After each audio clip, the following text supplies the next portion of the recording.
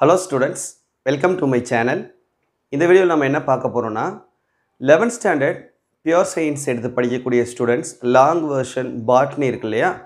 இந்த பாட்னி சப்ஜெக்ட்கான mark scoring tip video தான் பார்க்க போகிறோம் இதை பார்க்குறதுக்கு முன்னால் நீங்கள் இன்னும் நம்ம சேனலை சப்ஸ்கிரைப் பண்ணலைன்னா மறக்காமல் சப்ஸ்கிரைப் பண்ணிவிட்டு பாருங்கள்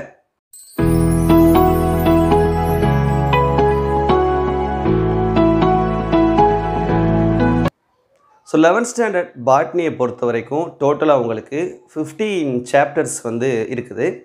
இந்த ஃபிஃப்டீன் சாப்டர்ஸை எப்படி நம்ம ப்ரிப்பேர் பண்ணால் எந்த அளவுக்கு மார்க்ஸ் ஸ்கோர் பண்ண முடியும்? இதில் ஸ்லோ லேர்னர்ஸ்க்கான டிப் எப்படி பாஸ் பண்ணலாம்? எப்படி ப்ரிப்பேர் பண்ணால் பாஸ் பண்ணலாம்?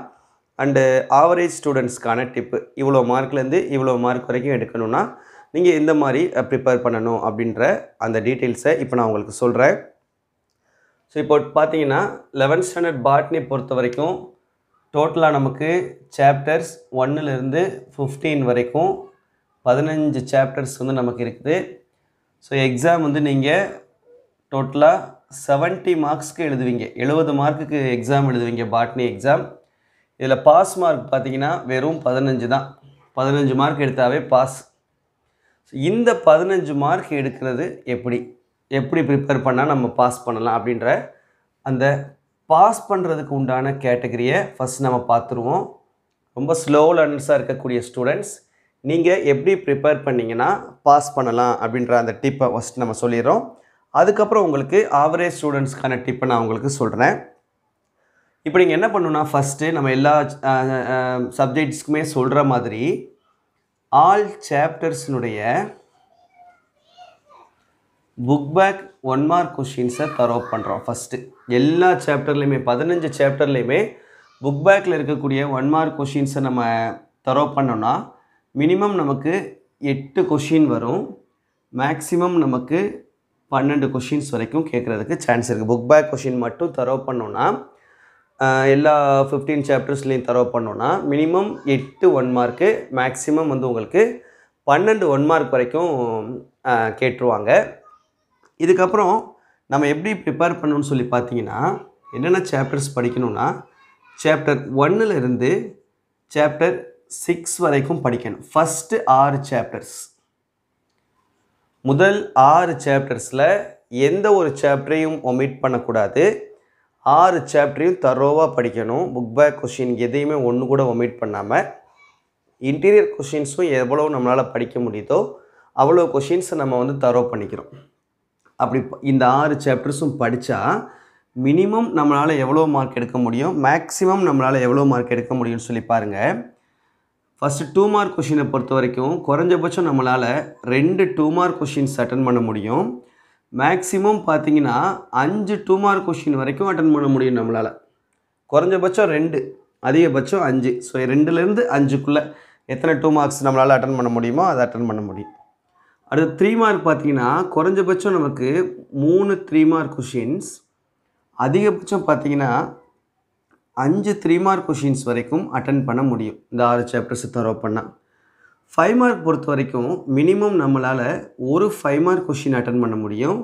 மேக்ஸிமம் மூணு ஃபைவ் மார்க் கொஷின்ஸ் அட்டன் பண்ண முடியும். ஸோ இந்த ஆறே ஆறு சாப்டர்ஸை தரோ பண்ணோன்னா ஆனால் ஒரு கொஷின் கூட விடக்கூடாது. ஒமிட் பண்ணாமல் படிக்கணும்.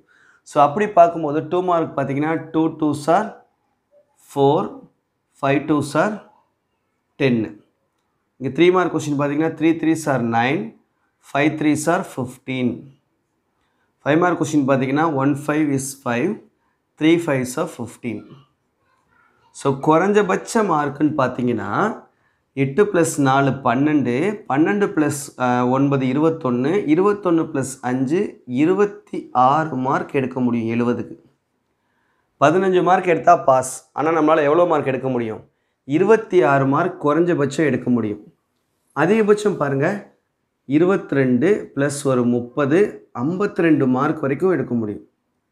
எழுபதுக்கு ஃபிஃப்டி டூ மார்க்ஸ் வரைக்கும் நம்மளால் ஸ்கோர் பண்ண முடியும் இந்த ஜுவாலஜியில் அப்போது இது கூட உங்களுக்கு ப்ராக்டிக்கல் மார்க் நம்ம ஒரு தேர்ட்டி சேர்த்தோன்னா ஐம்பத்தி ஆறு மார்க் ஜுவாலஜி சாரி பாட்னியில் நூற்றுக்கு ஐம்பத்தாறு மார்க் குறைஞ்சபட்சம் நம்மளால் எடுக்க முடியும். அதிகபட்சம்னு பார்த்தீங்கன்னா எண்பத்தி ரெண்டு மார்க் வரைக்கும் எடுக்க முடியும். அப்போ ஐம்பத்தாறு மார்க்லேருந்து எண்பத்தி ரெண்டு மார்க் வரைக்கும் உங்களால் ஸ்கோர் பண்ண முடியும். ஃபஸ்ட்டு ஆறே ஆறு சாப்டர்ஸை தரோவாக படித்தா சரியா? ஸோ இனிமேல் பியூர் சயின்ஸ் லாங் வெர்ஷன் படிக்கக்கூடிய ஸ்டூடெண்ட்ஸ் பாட்னியில் இப்படி ப்ரிப்பேர் பண்ணிங்கன்னா நீங்கள் வந்து பாஸ் ஆகிறதுக்கு கஷ்டப்பட வேண்டிய அவசியம் கிடையாது. இது வந்து ஸ்லோ லேர்னர்ஸ்க்கான டிப்பு நெக்ஸ்ட்டு ஆவரேஜ் ஸ்டூடெண்ட்ஸ்க்கான டிப்பு ஆவரேஜ் ஸ்டூடெண்ட்ஸ் எப்படி நீங்கள் ப்ரிப்பேர் பண்ணிங்கன்னா நல்ல மார்க் எடுக்க முடியும் அப்படின்றத பார்க்கலாம். ஸோ ஆவரேஜ் ஸ்டூடெண்ட்ஸ்க்கான டிப் ஆவரேஜ் ஸ்டூடெண்ட்ஸ் நம்ம ஏற்கனவே இவங்களுக்கு சொன்ன மாதிரி ஸ்லோ லேர்னர்ஸ்க்கு சொன்ன மாதிரி all சாப்டர்ஸ்னுடைய book back one mark question படிக்கிறோம். அப்போ மினிமம் நமக்கு எட்டு மார்க்கு மேக்ஸிமம் நமக்கு பன்னெண்டு மார்க் வரைக்கும் கேட்டுடுறாங்க book back one mark question மட்டும் தரவாக படித்தா இது போக நீங்கள் எந்தெந்த சாப்டர்ஸ் படிக்கணும்னு சொல்லி பாருங்கள் ஃபஸ்ட்டு ஏழு ஃபஸ்ட்டு எட்டு சாப்டர்ஸ் சரியா? அவங்களுக்கு நம்ம ஸ்லோ லேர்னர்ஸ்க்கு ஃபஸ்ட்டு ஆறு சாப்டர்ஸ் சொன்னோம். ஆவரேஜ் ஸ்டூடெண்ட்ஸுக்கு ஃபஸ்ட்டு எட்டு சாப்டர்ஸில் எந்த ஒரு சாப்டரையும் ஒமிட் பண்ணக்கூடாது. எல்லா கொஷின்ஸும் படிக்கணும். இது கூட சாப்டர் தேர்ட்டீன் ஃபோர்டீன் ஃபிஃப்டீன் இந்த மூணு சாப்டரையும் சேர்த்துக்கிறோம். ஸோ டோட்டலாக பதினஞ்சு லெசன் இருக்குது. அந்த பதினஞ்சு லெசனில் நம்ம ninth lesson tenth lesson eleventh lesson twelfth lesson நாலு லெசனை ஒமிட் பண்ணுறோம் நாலு லெசனை ஒமிட் பண்ணிவிட்டு இந்த பதினோரு லெசனை நம்ம தரோவாக படித்தோம்னா நம்மளால் எவ்வளோ மார்க் எடுக்க முடியும்னு சொல்லி பாருங்கள் குறைஞ்சபட்சம் நம்மளால் அஞ்சு டூ மார்க் அட்டன் பண்ண முடியும். அதிகபட்சம் நம்மளால் ஆறு டூ மார்க் அட்டன் பண்ண முடியும். ஸோ மொத்தமே ஆறு டூ மார்க் தான் அட்டன் பண்ண வேண்டியது. ஸோ அதில் கம்பல்சரி நம்ம படித்த கொஷின் வர்றதுக்கு அதிகமான சான்சஸ் வந்து இருக்குது. அதே போல் த்ரீ மார்க் கொஷின் பார்த்தீங்கன்னாலும் மினிமம் நம்ம வந்து five three mark questions attend பண்ணலாம். மேக்ஸிமம் நம்ம வந்து சிக்ஸ் த்ரீ மார்க் கொஷின்ஸுமே அட்டன் பண்ணலாம். அதே போல் ஃபைவ் மார்க் கொஷின் பார்த்தீங்கன்னா மினிமம் நாலு ஃபைவ் மார்க் கொஷின்ஸ் அட்டன் பண்ணலாம். அதிகபட்சம் அஞ்சு ஃபைவ் மார்க் கொஷின்ஸுமே அட்டன் பண்ண முடியும்.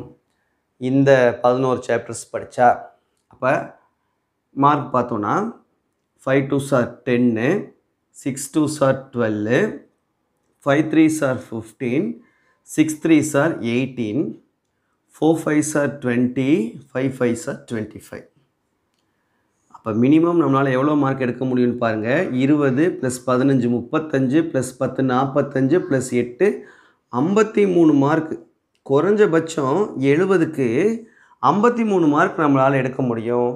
அதிகபட்சம்னு பார்த்தீங்கன்னா இது ஒரு முப்பது ப்ளஸ் பன்னெண்டு நாற்பத்தி ரெண்டு ப்ளஸ் ஒரு இருபத்தி அஞ்சு அறுபத்தி ஏழு மார்க் வரைக்கும் எடுக்க முடியும் எழுபதுக்கு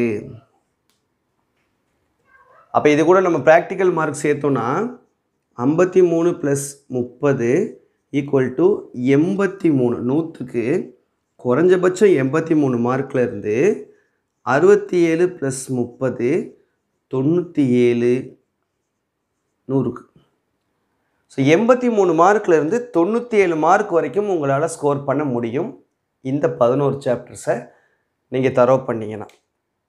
இதில் எந்த அளவுக்கு நீங்கள் சாப்டர்ஸை கம்மி பண்ணுறீங்களோ அதுக்கு ஏற்ற மாதிரி உங்களுக்கு இதில் மார்க்கும் கம்மியாகும். ஸோ இந்த பதினோரு சாப்டர்ஸை நீங்கள் தரோவாக இருந்தீங்கன்னா இவ்வளோ மார்க் நம்மளால் கண்டிப்பாக எடுக்க முடியும். எண்பதுலேருந்து தொண்ணூற்றி ஏழு மார்க் வரைக்கும் கம்பல்சரி உங்களால் ஸ்கோர் பண்ண முடியும். சரியா?